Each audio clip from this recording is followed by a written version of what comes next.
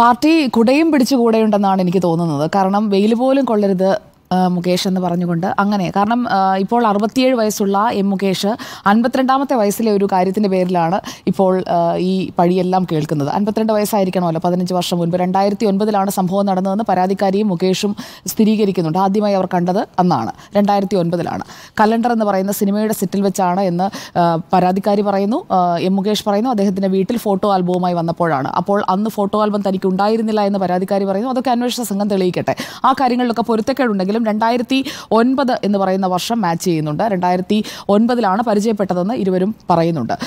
അന്ന് എം മുകേഷ് അന്ന് അൻപത്തിരണ്ട് വയസ്സാണ്. പ്രായം ഇപ്പോൾ അറുപത്തിയേഴ് വയസ്സായി. നാല് പതിറ്റാണ്ട് നീളുന്ന ഒരു സിനിമാ ജീവിതത്തിനിടയിൽ എം മുകേഷിന്റെ സിനിമകളൊക്കെ ഇഷ്ടപ്പെടുന്ന ഒരുപാട് പേരുണ്ടാകും. അദ്ദേഹത്തിലെ കലാകാരനെ ഇഷ്ടപ്പെടുന്ന ആളുണ്ടാകും. അദ്ദേഹം തന്നെ വിശദീകരണത്തിൽ പറയുന്നത് ഞാനൊരു കലാകാരനാണ്. എന്റെ കുടുംബത്തിൽ കലയെ സ്നേഹിക്കുന്ന ആളുകളാണ് എല്ലാവരും എന്നൊക്കെ പറഞ്ഞുള്ള വിശദീകരണമാണ്. പക്ഷേ കലയും ഈ കലാപവും രണ്ടും രണ്ടാണ്. അപ്പോൾ ഇവിടെ നടന്നതൊരു കലാപ്രവർത്തനമൊന്നുമല്ല. അപ്പോൾ കലയുമായി ഇതിനെ കൂട്ടിക്കെട്ടേണ്ടതില്ല എന്നുള്ളതാണ് എന്റെ ആദ്യത്തെ അഭിപ്രായം. ഇവിടെ ലൈംഗികാതിക്രമ ആരോപണമാണ് ഉയർന്നത്. അതിൽ കേസെടുത്ത പശ്ചാത്തലമാണ്. ആ കേസെടുത്ത പശ്ചാത്തലത്തിൽ ഇനിയിപ്പോൾ എം മുകേഷ് ചെയ്യേണ്ടത് അദ്ദേഹത്തിന്റെ നിരപരാധിത്വം തെളിയിക്കാനായി നിയമപരമായുള്ള എല്ലാ വഴികളും അദ്ദേഹത്തിന് തേടാം. ആ നിരപരാധിത്വം തെളിയിക്കുന്ന ആ ഒരു ബാധ്യത പാർട്ടി ഇപ്പോൾ മുകേഷിന് തന്നെ കൊടുത്തിരിക്കുന്നു എന്നാണ് ഞാൻ കരുതുന്നത്. ഇവിടെ ഇപ്പോൾ പാർട്ടിക്ക് പാർട്ടിക്ക് എതിരഭിപ്രായം ഉണ്ടാകാം എം മുകേഷ് ചെയ്ത അല്ലെങ്കിൽ എം മുകേഷ് സർക്കാരിന് വരുത്തി വെച്ചിരിക്കുന്ന പാർട്ടിക്ക് വരുത്തി വെച്ചിരിക്കുന്ന ഈ വലിയൊരു നാണക്കേട് അത് പാർട്ടിക്ക് ഒരു ബാധ്യതയാണെന്ന് അവർ തിരിച്ചറിയുന്നുണ്ട്. പക്ഷേ പരസ്യമായി തള്ളി പറയില്ല. കാരണം പരസ്യമായി തള്ളി പറഞ്ഞു കഴിഞ്ഞാൽ ഈ കൂട്ട വിഴുപ്പലക്കലിലേക്ക് പാർട്ടിയും കൂടി ചേരുന്നു. അതിന് പാർട്ടിയാണപ്പോൾ അവിടെ കൂടുതൽ മോശമാകുന്നത്. അതുകൊണ്ട് തന്നെ ഇക്കാര്യത്തിൽ പരമാവധി മുകേഷിനുള്ള സഹായങ്ങൾ പാർട്ടിയിൽ നിന്ന് കിട്ടും എന്ന് തന്നെയാണ് ഞാൻ കരുതുന്നത്. സമൂഹ മാധ്യമങ്ങളിലൊക്കെ നമ്മൾ ശ്രദ്ധിച്ചാൽ അറിയാം രണ്ട് ചേരിയായി ഇപ്പോൾ അഭിപ്രായ രൂപീകരണം വന്നു കഴിഞ്ഞിരിക്കുന്നു. ഇടതുപക്ഷത്തെ പിന്തുണച്ച് എഴുതിക്കൊണ്ടിരുന്ന ആളുകൾ അതായത് സൈബർ ഇടങ്ങളിൽ എഴുതിക്കൊണ്ടിരുന്ന ആളുകൾ പോലും മുകേഷ് ചെയ്ത ഈ കാര്യത്തെ ന്യായീകരിക്കുന്ന അല്ലെങ്കിൽ മുകേഷിനെതിരെ ഉയർന്ന ആരോപണത്തിൽ മുകേഷ് ഈ എം എൽ എ സ്ഥാനത്ത് ചലച്ചിത്ര നയരൂപീകരണ സമിതിയിലൊക്കെ കടിച്ചു തൂങ്ങിക്കിടക്കുന്നു എന്ന ഒരു സ്റ്റാൻഡാണ് അങ്ങനെയുള്ള ആളുകൾ പോലും എടുക്കുന്നത്. ഇവിടെ കോൺഗ്രസിന്റെ എം എൽ എമാരായ എം വിൻസെന്റിനെയും എൽദോസ് കുന്നപ്പള്ളിയെയും ഒക്കെ ചൂണ്ടിക്കാട്ടിക്കൊണ്ട് നടത്തുന്ന പ്രതിരോധം. ആ പ്രതിരോധത്തെക്കുറിച്ച് കൂടി നമ്മൾ എടുത്തു പറയേണ്ടതുണ്ട്. നേരത്തെ നിങ്ങൾ സൂചിപ്പിച്ചതുപോലെ അതിൽ എനിക്കൊരു കാര്യം കൂടി കൂട്ടിച്ചേർക്കാനുണ്ട്.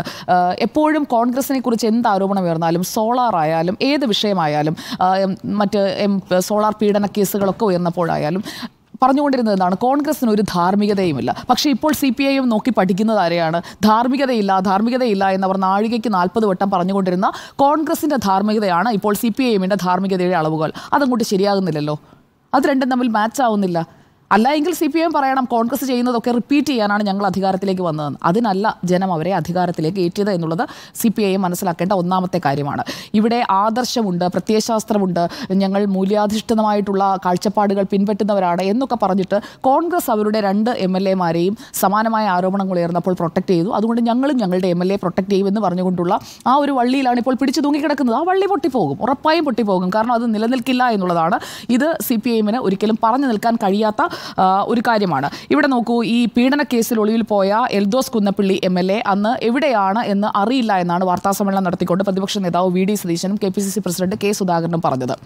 അതുപോലെ തന്നെയുള്ള പ്രതികരണമല്ല ഇന്ന് നമ്മൾ ഇ പി ജയരാജനിൽ നിന്ന് കാണുന്നത്? മുകേഷ് എവിടെയാണെന്ന് അയാളോട് പോയി ചോദിക്കൂ. ഒളിവിലാണോ എന്ന് ചോദിച്ചപ്പോൾ എവിടെയാണെന്ന് അയാളോട് പോയി ചോദിക്കൂ എന്നാണ് മാധ്യമപ്രവർത്തകരോട് ഇ പി ജയരാജൻ ഇന്ന് പ്രതികരിച്ചത്. അതുപോലെ തന്നെയാണ് വി ഡി സതീശനും കെ സുധാകരനും പ്രതികരിച്ചത്. അപ്പോൾ ആ കാര്യത്തിൽ അവരെന്തായാലും ഈക്വലായി ടു ഈസ്റ്റ് വൺ ആണ് ഇപ്പോൾ ടാലി ഒന്നുകൂടി വരണം. ഒരാരോപണം കൂടി വന്നാലേ ഈക്വൽ ആവുകയുള്ളൂ. ടു ഈസ്റ്റ് വൺ ആണ് ഇപ്പോഴത്തെ ടാലി എന്ന് പറയുന്നത്. എം വിൻസെന്റിന്റെ കേസിലാകട്ടെ വീട്ടമ്മ ആത്മഹത്യയ്ക്ക് ശ്രമിച്ചു ഭീഷണിപ്പെടുത്തൽ പുറത്തു വന്നു അങ്ങനെ ഒരു സീരീസ് ഓഫ് ഇവന്റ്സ് ഉണ്ട്. ഇവിടെ എന്ന് പറഞ്ഞു കഴിഞ്ഞാൽ കൃത്യമായ ഒരു സ്ത്രീ വെളിപ്പെടുത്തൽ നടത്തുന്നു. ആദ്യം അവർ സോഷ്യൽ മീഡിയയിലാണ് ഇടുന്നത്. ഒരു പോസ്റ്റ് ഇടുന്നു. അത് കഴിഞ്ഞ് മാധ്യമങ്ങളിൽ വന്ന് വെളിപ്പെടുത്തൽ നടത്തുന്നു.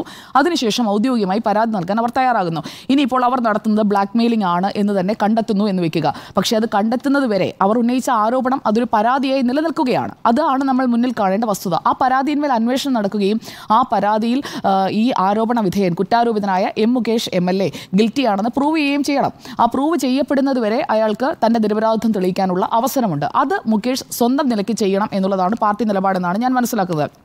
കാരണം സി പി ഐ എമ്മിന്റെ കൊല്ലം ജില്ലാ ഘടകവുമായി എം മുകേഷ് അത്ര നല്ല ബന്ധത്തിലൊന്നും അല്ല എന്നത് നമ്മൾ കാണേണ്ട ഒരു വസ്തുതയാണ്. കാരണം ഇതുവരെ കൊല്ലം ജില്ലാ ഘടകത്തിൽ നിന്ന് എം മുകേഷിനെ പൂർണമായും പിന്തുണച്ചുകൊണ്ട് ഇന്നിപ്പോൾ ഇ പി ജയരാജനൊക്കെ നടത്തിയതുപോലെ സജി ചെറിയാൻ നേരത്തെ നടത്തിയതുപോലെ അങ്ങനെയുള്ള ഒരു പ്രതികരണവും സി പി ഐ എമ്മിന്റെ കൊല്ലം ജില്ലാ ഘടകത്തിൽ നമ്മൾ കാണുന്നില്ല. അത് എതിർ പ്രതികരണം വന്നിട്ടുമുണ്ട്. അതാണ് ഞാൻ പറഞ്ഞു വന്നത്. അപ്പോൾ സി പി ഐ എമ്മിന്റെ കൊല്ലം ജില്ലാ ഘടകമാണല്ലോ അദ്ദേഹത്തിന്റെ പ്രവർത്തന മണ്ഡലത്തിലെ പ്രവർത്തനങ്ങളെ വിലയിരുത്തേണ്ടതും പാർട്ടിക്ക് അദ്ദേഹം എത്രത്തോളം ആവശ്യമാണ് എന്ന് വിലയിരുത്തേണ്ടതും. അപ്പോൾ ആ ജില്ലാ ഘടകത്തിൽ ഘടകത്തിന് അതൃപ്തിയുണ്ട് എന്നുള്ളത് വ്യക്തമാണ്. കാരണം എം മുകേഷ് പാർട്ടിയുമായി സഹകരിക്കുന്നില്ല എന്ന വിമർശനം ഇപ്പോൾ ഉയരുന്നതല്ല. നേരത്തെ മുതൽ തന്നെ നിലനിൽക്കുന്ന ഒരു കാര്യമാണ്. പാർട്ടി എന്നെ പിന്തുണച്ചില്ല ലൈംഗികാരോപണം വന്നപ്പോൾ എന്നാണ് എം മുകേഷ് കഴിഞ്ഞ ദിവസം പാർട്ടി നേതൃത്വത്തെ അറിയിച്ചതായി നമ്മൾ വാർത്തകളിൽ കണ്ടത്.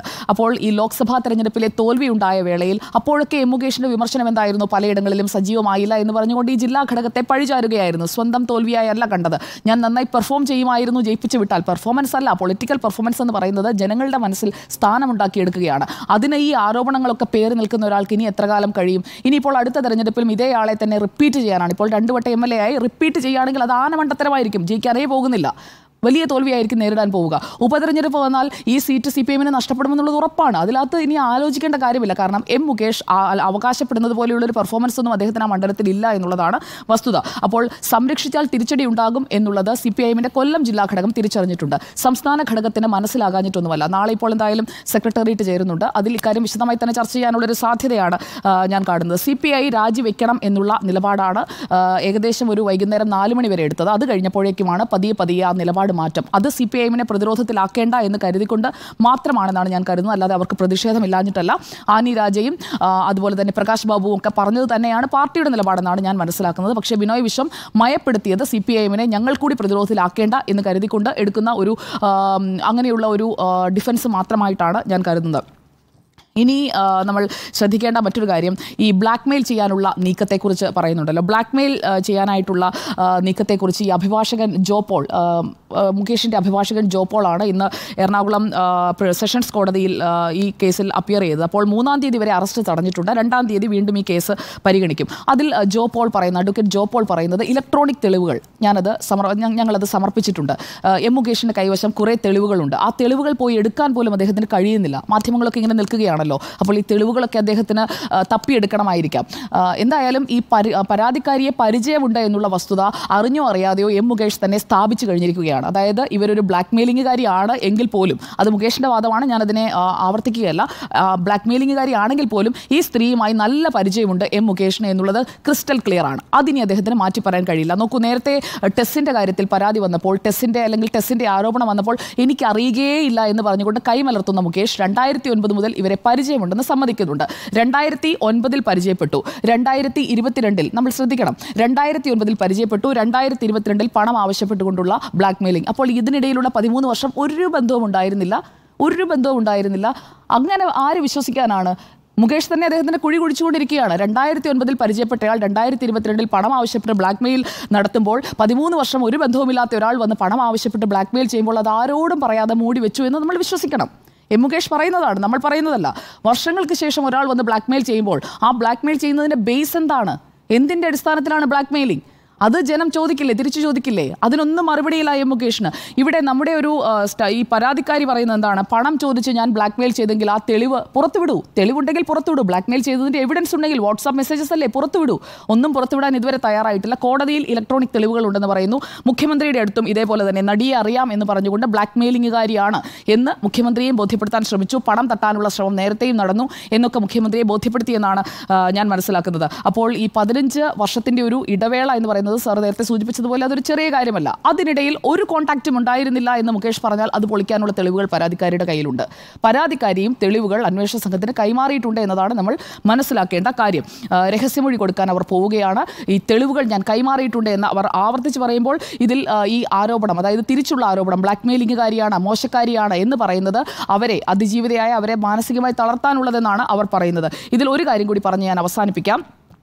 ഇവിടെ നമ്മൾ എടുക്കേണ്ട ഒരു സ്റ്റാൻഡ് എന്ന് പറഞ്ഞു കഴിഞ്ഞാൽ ഒരു നിരപരാധി ശിക്ഷിക്കപ്പെടണം എന്ന ആഗ്രഹത്തോടെയല്ല നമ്മൾ ഈ കാര്യങ്ങളൊക്കെ ചർച്ച ചെയ്യുന്നത്. ഇക്കാര്യത്തിൽ മുകേഷ് നിരപരാധിയാണെങ്കിൽ അദ്ദേഹം അത് തെളിയിക്കട്ടെ. കാരണം ആരോപണം ഉയർന്നിട്ടുണ്ട് അതൊരു കേസായി മാറിയിട്ടുണ്ട്. അതിലെ അതിജീവിതയായ വ്യക്തി കൃത്യമായി പോലീസിന് മുന്നിൽ സ്റ്റേറ്റ്മെന്റ് കൊടുത്തിരിക്കുന്നു. അതോടൊപ്പം അവർ തെളിവുകളും കൈമാറിയിരിക്കുന്നു. മറുഭാഗത്ത് നിന്ന് മുകേഷ് പറയുന്നു എന്റെ കയ്യിൽ തെളിവുണ്ടെന്ന്. അപ്പോൾ ആ തെളിവുകളും തമ്മിൽ അന്വേഷണ സംഘം കണ്ടെത്തട്ടെ. അതുവരെ മുകേഷ് നിരപരാധിയാണ് എന്ന് ആമുഖമായി തന്നെ പറയാൻ എന്തോ എനിക്ക് തോന്നുന്നില്ല. കാരണം ഒരു സ്ത്രീയാണ് പരാതി പറഞ്ഞിരിക്കുന്നത്. അത് അവരെ ലൈംഗികമായി ഉപദ്രവിച്ചു ഉപയോഗിച്ചു എന്ന് തന്നെയാണ് അതിനുള്ള തെളിവുകൾ അവർ കൈമാറിയ സാഹചര്യത്തിൽ. ഇപ്പോൾ ഇപ്പുറത്ത് നിൽക്കുന്ന ആൾക്കൊപ്പം നിൽക്കാൻ കുറച്ച് ബുദ്ധിമുട്ടുണ്ട് എന്നത് തന്നെയാണ് എന്റെ സ്റ്റാൻഡ്. ഇക്കാര്യത്തിൽ M Mukesh M L A സ്ഥാനം രാജിവെക്കണോ എന്നുള്ളത് ആ പാർട്ടിയാണ് തീരുമാനമെടുക്കേണ്ടത്. കാരണം ആ പാർട്ടിയുടെ എം എൽ എ ആണ്. ആ പാർട്ടി തന്നെ ഇങ്ങനെയുള്ള ഒരാളെ പ്രൊട്ടക്ട് ചെയ്യാൻ തീരുമാനിച്ചു കഴിഞ്ഞാൽ ജനം ആ പാർട്ടിക്കൊപ്പം നിൽക്കില്ല എന്നുള്ളത് ആ പാർട്ടി തിരിച്ചറിയണം എന്നത് മാത്രമാണ് എനിക്ക് ഇവിടെ പറയാനുള്ളത്. രാത്രി വൈകി ഒരു കാര്യം കൂടി പറഞ്ഞു നിർത്താം. രാത്രി വൈകി ഫോൺ വിളിച്ച ഒരു മുകേഷിനെ ഓർമ്മയുണ്ടാകുമല്ലോ. അപ്പോഴാണ് ഈ അന്തസ് വേണം എന്ന് പറഞ്ഞ പ്രയോഗം വരുന്നത്. അപ്പോൾ രാത്രി വൈകി ഫോൺ വിളിച്ച ആളെ ചീത്ത വിളിച്ച മുകേഷ് ബ്ലാക്ക്മെയിൽ ചെയ്ത ആൾക്കെതിരെ രണ്ട് വർഷമായിട്ടും ആരോടും പറയാതെ ഒന്ന് ഫോൺ വിളിച്ചാൽ കേസെടുക്കുമല്ലോ? ആരെയും ഒന്നും അറിയിക്കാതെ ഈ തുടർന്ന മൗനം എന്തിനാണ്? അല്ലെങ്കിൽ ആ ബ്ലാക്ക്മെയിലിംഗുകാരിക്കെതിരെ നടപടിയെടുക്കാൻ അദ്ദേഹത്തിന് ആദ്യമേ കേസ് കൊടുക്കാമായിരുന്നല്ലോ? അങ്ങനെയെങ്കിൽ ഈ സംഭവമേ ഉണ്ടാകില്ല. ഈ സ്ത്രീ രംഗത്ത് വരികയുമില്ല. അപ്പോൾ അവിടെയും തയ്യാറാകാത്തതിന് പിന്നിൽ അതിന് പിന്നിൽ എന്തൊക്കെയോ ഉണ്ട്. അപ്പോൾ ഈ അഡ്ജസ്റ്റ്മെന്റ് ചെയ്ത് അപ്പുറത്തും പരാതിയുണ്ട് ഇപ്പുറത്തും പരാതിയുണ്ട് അപ്പുറത്തും ആരോപണ വിധേയരുണ്ട് ഇപ്പുറത്തുമുണ്ട് എന്ന് പറഞ്ഞുകൊണ്ട് അങ്ങോട്ടും ഇങ്ങോട്ടും ഇന്ത്യ മുന്നണി കളിച്ചിട്ടൊന്നും ഒരു കാര്യമില്ല എന്നതുകൂടി പറഞ്ഞ് ഞാൻ അവസാനിപ്പിക്കുകയാണ്. ഉണ്ണി സാർ നോക്കട്ടെ അങ്ങനെ തന്നെയാണ് പറഞ്ഞത്. ഇന്ത്യ മുന്നണി തമ്മിലുള്ള ഒരു അഡ്ജസ്റ്റ്മെന്റ് ആണല്ലോ ഇവിടെ നടക്കുന്നത്. അപ്പുറത്തെ രണ്ട് അപ്പുറത്തെ രണ്ട് ഇപ്പുറത്ത് സുരേഷ് ഗോപി അവിടെ നിൽക്കട്ടെ. B J P B J P എന്ന പാർട്ടിയുടെ അഭിപ്രായം പാർട്ടിയുടെ സംസ്ഥാന അധ്യക്ഷൻ പറഞ്ഞിട്ടുണ്ട്. അതാണ് പാർട്ടിയുടെ അഭിപ്രായം എന്നതുകൂടി കൂടി പറയുന്നു. അപ്പൊ പിന്നെ കേന്ദ്രമന്ത്രിയോ? കേന്ദ്രമന്ത്രി പറഞ്ഞു അദ്ദേഹത്തിന്റെ വ്യക്തിപരമായ അഭിപ്രായം. മുകേഷിന്റെ സുഹൃത്തായിരിക്കാം. അല്ല അദ്ദേഹം പറഞ്ഞിരുന്നല്ലോ ബി ജെ പി ആയതുകൊണ്ടല്ല എനിക്ക് വോട്ട് താരമായതുകൊണ്ടാണ്. അപ്പം കേന്ദ്രമന്ത്രി ബി ജെ പിയുടെ കേന്ദ്രമന്ത്രി അല്ലേ. അല്ല. ബി ജെ പി എന്ന പാർട്ടിയുടെ ടിക്കറ്റിലാണ് മത്സരിച്ചത്. നിങ്ങൾക്ക് ഇപ്പൊ എന്ത് പറയുമ്പോഴും ഒന്നും മാഡം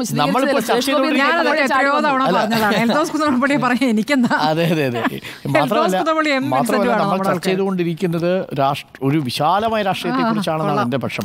മാത്രമല്ല ഇതിൽ ഈ പ്രതിസ്ഥാനത്ത് നിൽക്കുന്നവരെല്ലാവരും ഇതൊന്നും ഓർമ്മിക്കുന്നില്ല. വ്യക്തമല്ല. എപ്പോഴും കണ്ട് പരിചയമുണ്ട്. പക്ഷേ പരാതി പറയുന്ന പല ആളുകളും വളരെ വ്യക്തമായിട്ടാണ് പരാതി പറയുന്നത്. ഏത് സെറ്റിൽ എവിടെ വെച്ച് എങ്ങനെ ഏത് കട്ടിലിൽ ഏത് ദിശയിൽ ഏത് ഡയറക്ഷനിലാണ് ഇതൊക്കെ ചെയ്തത് പറഞ്ഞ വാചകങ്ങൾ പോലും ഓർമ്മിക്കുന്നു എന്നുള്ളതാണ്. അതാണ് ഇതിലെ ഏറ്റവും പ്രധാനപ്പെട്ട ഒരു കാര്യം. എന്തായാലും രാഷ്ട്രീയ ധാർമ്മികത ഈ വിഷയത്തിൽ മുകേഷിന് ഒരിക്കലും അവകാശപ്പെടാൻ കഴിയില്ല. പക്ഷേ പാർട്ടി നിലപാടെടുക്കേണ്ടത് പാർട്ടിയാണ്. രാജിവെപ്പിക്കണോ വേണ്ടോ എന്ന കാര്യത്തിൽ പാർട്ടിയാണ് തീരുമാനമെടുക്കേണ്ടത്.